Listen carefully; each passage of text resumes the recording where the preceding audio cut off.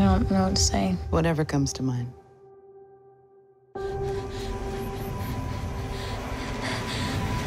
Well, let's start with what you remember then. Do you recall anything? I was in the woods. There was a man chasing me. And no one believes me.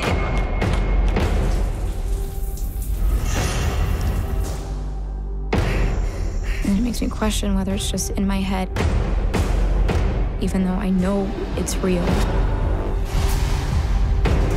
Do you think it's possible that you might be projecting your own fears?